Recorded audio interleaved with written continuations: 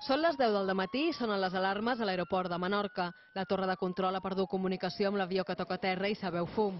La coordinació dels agents que hi han d'intervenir és clau a l'hora d'actuar. Els bombers actuen immediatament per sufocar el foc. Mig avió s'ha incendiat i cal treure els 28 passatgers i 4 tripulants. N'hi ha que estan molt greus, d'altres fins i tot estan agonitzant. És molt important traslladar-los a l'hospital. Simulacres com el d'avui són importants i és necessari fer-los periòdicament. L'objectiu, garantir una resposta eficient en cas que es produís un accident aeri.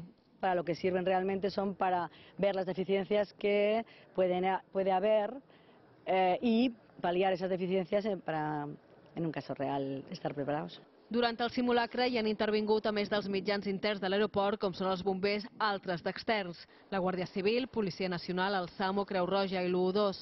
Per atendre els ferits s'ha instal·lat també una tenda inflable i ha estat necessari organitzar els passatgers i la tripulació segons la gravetat de les seves ferides.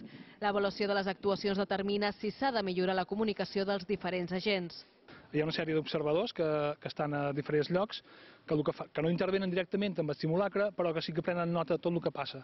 I l'ensenyança de simulacre, d'aquest i qualsevol simulacre, ho feim precisament per veure els falls que hi ha hagut, no? les mancances. El simulacre ha acabat amb el trasllat dels ferits a l'Hospital Mateu Orfila i amb 5 morts.